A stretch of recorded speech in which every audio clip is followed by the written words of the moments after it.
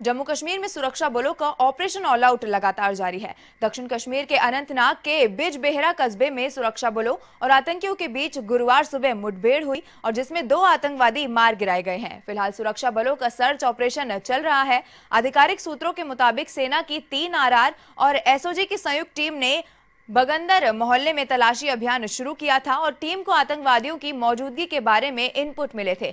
जब सुरक्षा बलों की संयुक्त टीम ने संदिग्ध जगह की तलाश शुरू की तो आतंकियों ने अंधाधुंध गोलियाँ चलाना शुरू कर दिया और जिसकी जवाबी कार्रवाई में सुरक्षा बलों ने दो आतंकियों को इसमें ढेर कर दिया है। वही आतंकियों की लाश के पास से भारी मात्रा में गोला बारूद भी बरामद हुआ है। पुलिस सूत्रों का कहना है की मारे गए आतंकवादियों की पहचान बीज बेहरा के सफदर अमीन और अनंतनाग के डॉक्टर बुरहान के रूप में की गई है और ये दोनों आतंकी हिजबुल मुजाहिदीन के संबंध में है।